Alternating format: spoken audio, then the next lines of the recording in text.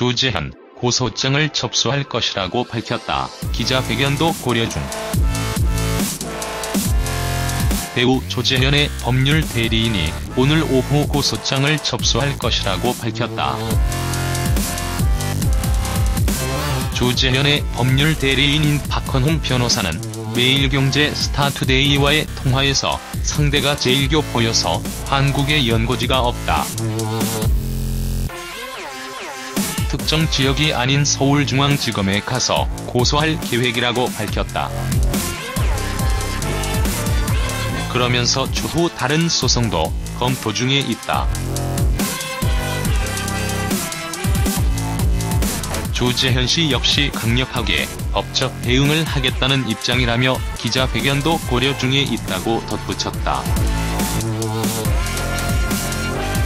변호사는 또 16년 전이 아닌 20년 전에 일어난 사건이다. 피아노로 조재현 씨가 뜨면서 돈 요구를 하기 시작했고 18년간 지속적으로 괴롭혀왔다면서 휴대폰비 낼 돈이 없다, 비행기 값이 없다, 병원비가 없다 등 그동안 송금한 돈만 해도 7에서 8천여만 원에 이른다.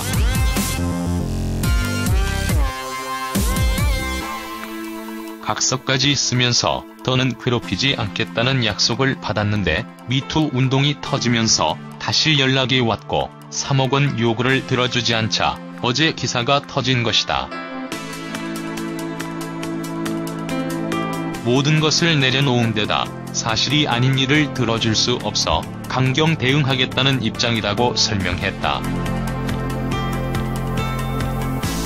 앞서 제1교포 여배우 A씨는 20일 보도된 SBS 뷰과의 인터뷰에서 16년 전 배우 조재현에게 성폭행을 당했다고 폭로했다.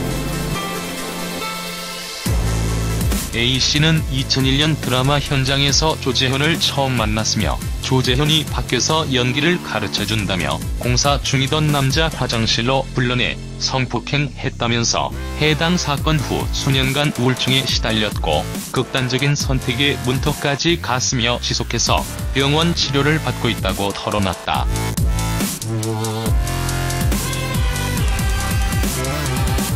A씨의 어머니 역시 인터뷰를 통해 조재현이 나를 찾아와 무릎을 꿇었다. 당시 조재현이 죽을 죄를 지었다.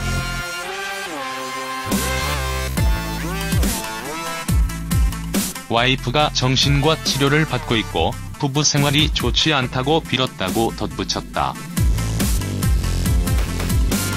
그러나 조재현 측은 이 같은 보도에 대해 합의하에 관계를 한 것이다.